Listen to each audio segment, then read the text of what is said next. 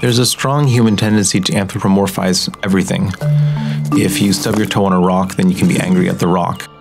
So it doesn't take much to start assigning intelligence or imagining intelligence in something. Artificial intelligence is a very broad term that can have many possible meanings. I think of it as automating tasks that used to require human intelligence in order to accomplish.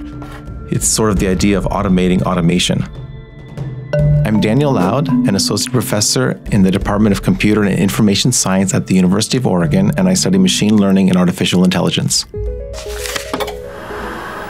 I grew up watching movies like Short Circuit, where some kind of lightning bolt turns a robot into a sentient being that can philosophize about life and its own existence. It's fun to imagine all the ways in which a different kind of life form could exist and could understand the world and could interact with humans.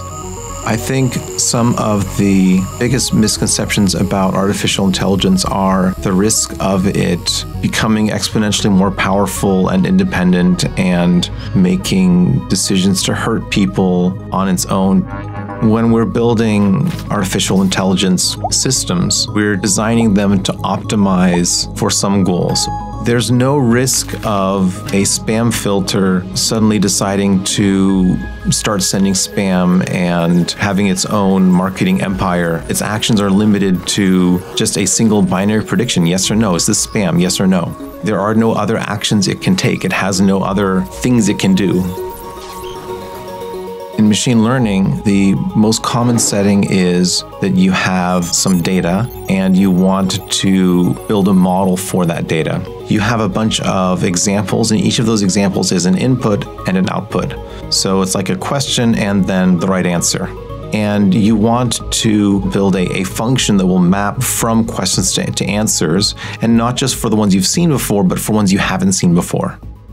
Some of the risks with AI are similar to what you might have with any other kind of technology. So, whenever the stakes are higher, such as in healthcare or autonomous vehicles, you also want to have greater reliability. Anytime that you're automating something with a new technology, there's a risk of what if you automate it wrong. When the stakes are lower, like say spam filtering for email. If you make a few mistakes, it could be frustrating. You might miss something important, but it's hopefully not going to kill anyone if some spam makes it into your inbox, or alternately, if some of your legitimate email is marked as spam.